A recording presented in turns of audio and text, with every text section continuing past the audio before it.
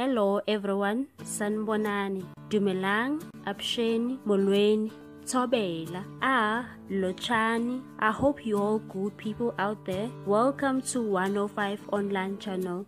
In this channel, we are bringing you celebrity news, entertainment news, and gossip celebrity news. If you are new into this channel, please, please subscribe.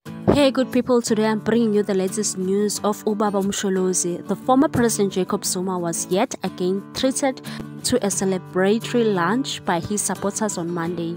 High-profile supporters that came through to Zuma's Nkandla home included former Northwest Premier Supra Mahumapelo, Carl Niehaus, the spokesperson of MKMVA, and Nkosentsha Shezi, the national chairperson of RET, Radical Economic Transformation. Upon landing in Nkandla, the group went inside where they dined with the former head of the state. After lunch, they took pictures with him.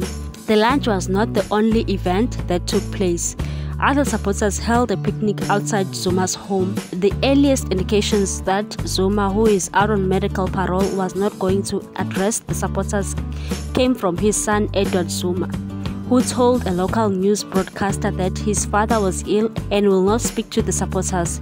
Edward said despite that, he was aware that people were there, but because he respects the law, he is not going to be able to be interacting and communicating with the people that were there. Shezi said they went to see Zuma inside and he felt honored by the visit. The visit comes a few days after another group of supporters who described themselves as the My President group descended on Zuma's home recently. The group brought Zuma gifts saying they appreciate what he did for the black people during his presidency between 2009 and 2018. If Jacob Zuma is not really feeling well, we wish him a speedy recovery. Thank you, thank you so much for watching. Please do not forget to subscribe and hit that notification bell so that you can get more news on this channel. One of my channel loves you. Bye, good people.